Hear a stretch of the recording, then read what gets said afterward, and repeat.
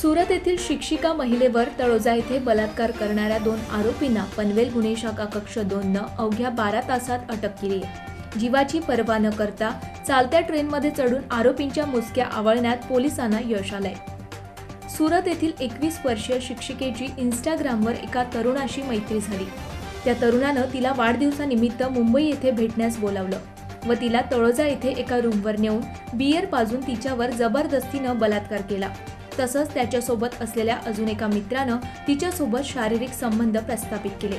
संधी मिळताच महिलेनं त्या ठिकाणाहून पळ काढत पोलिसांना शंभर नंबरवर फोन करून तळोजा पोलीस ठाण्यात तक्रार दाखल केली.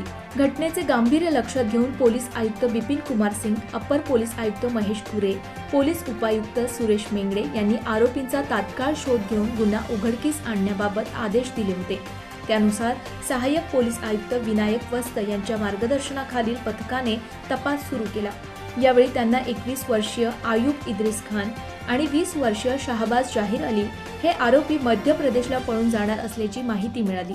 माहिती मिळताच पनवेल गुन्हे शाखा कक्ष दोनच्या पथकानं लोकमान्य टिळक टर्मिनल येथून मध्य प्रदेश जाण्यासाठी सुटलेल्या चालत्या ट्रेनमध्ये चढून आरोपींना ताब्यात घेतलं.